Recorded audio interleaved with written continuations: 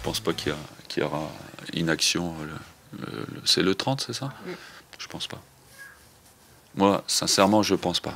Donc, euh, donc euh, on va pas en parler pour l'instant.